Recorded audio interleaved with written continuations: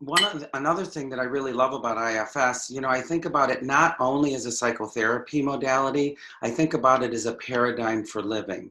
And IFS could be used not only in trauma, in many, many other arenas.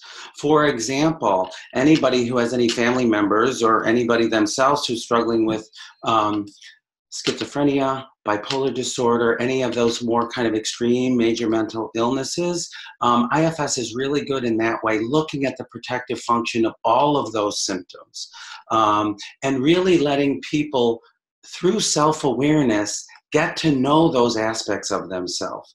We use IFS in autism, for example. My son is on the spectrum, and I'm always working with him around the different parts of him that are rigid, are hard to make changes for, only like certain things. It's a really non shaming, non pathologizing way to deal with many things in life. Um, so IFS is way beyond um, just a, a, a, psychotherapy modality for treating trauma. We use it in many different arenas. We're actually using it in coaching and in business training now too. So um, it's really a way to be with yourself and relationally with others in a, a whole different way of being.